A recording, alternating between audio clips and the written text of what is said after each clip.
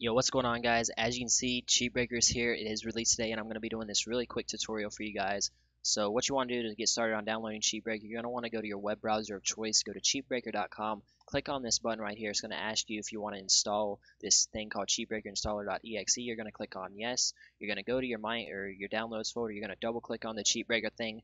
Um, you can't see this, but it um, Windows is asking me if I want to allow this app to make changes to my device. You just want to click on yes and then it's going to open up this um, in license agreement. You're going to click on I agree.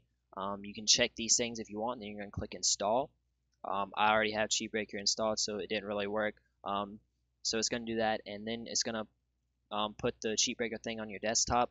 Um, you're going to get a screen that's, and then when you launch it, you're going to get a screen that's asking you to agree to the user license agreement or something like that. You're going to scroll all the way down on that screen. It's going to be a big white screen.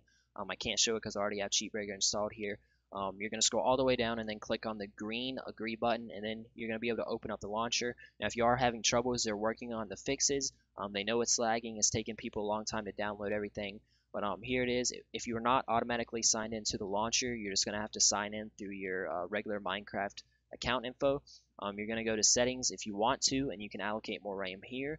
Um, you got the servers and then you're going to click on launch game. It's going to start downloading everything that is needed for Cheatbreaker and then you're gonna be able to actually launch Cheatbreaker and go it in.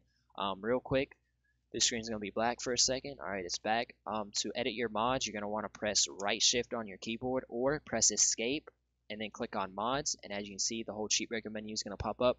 They have said before that this whole Cheatbreaker menu right here is gonna be redesigned. So um, so there's going to be um, a new thing in the future.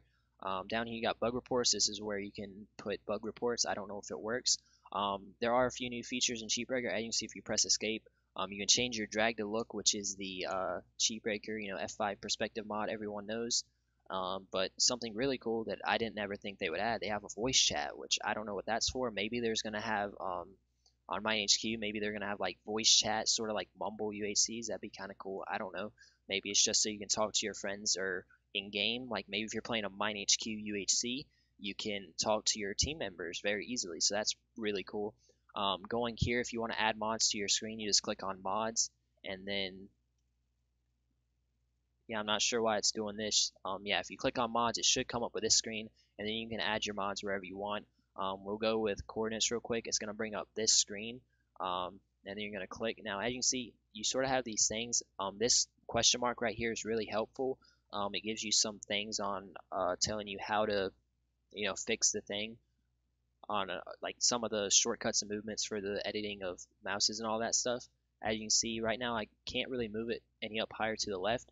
But if we look at this, um, it seems like if you hold this and mouse button too, you can move it wherever you want. So holding left click and right click, you can move it anywhere you want on the screen. You don't have these snapping features or anything like that. And I think that's really cool. Or you can just click on it and then use your arrow keys on your keyboard to move it exactly where you want. So as you can see, we have coordinates. You can go here and then to quickly get rid of one, you can hover over it and then click X. Or you can click on settings, you can change the scale. And then once again, you can change the color. We've all seen this before. Um, real quick, if you want to go to your Cheatbreaker, uh, you know, settings right here, you do have this right here. Um, enable FPS boost, obviously want that on. Um, I'm going to experiment with this and you know change it up a little bit, um, see what gets the best FPS. You got the GUI blur, you can turn that on or off. Um, I don't know what that's for. I think it's actually because I have fast render off. If I turn that off, um, I'm not really sure what that does, if I'm being honest. But um, anyways, um, anyways, if you if this video did help you out, be sure to leave a like. Uh, I'm sorry, I've tried recording this like three times, but everything just kept messing up. Um, be sure to leave a like, subscribe to the channel, and I don't know if I said this vid this video, but I am going to be doing a complete 100% um, overview and in-depth tutorial on Cheatbreaker, how to do every single function, how to use it, and all that. So um, yeah, Cheatbreaker here. Cheatbreaker is here, guys. Um, MineHQ's coming tomorrow. It's gonna be great. Um, yeah, I'll see you guys later. Peace out.